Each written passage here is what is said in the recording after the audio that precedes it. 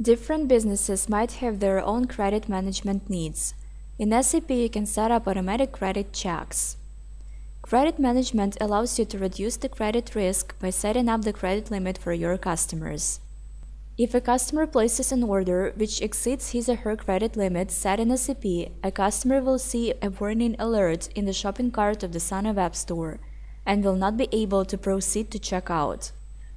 To configure credit limit for a customer in SAP, at first you need to set up credit limit check for a sales document type you're using for SANA. To do this, I will call the transaction Sales Order Type Assignment.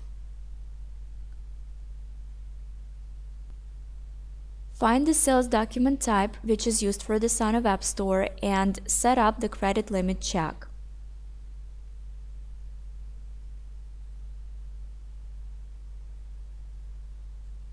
If you choose to run simple credit limit check and error message, then a customer will not be able to place an order which exceeds his or her credit limit.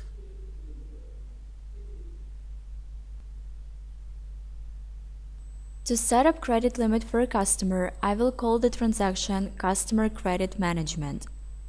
Then I will enter the customer account for which I need to set up credit limit.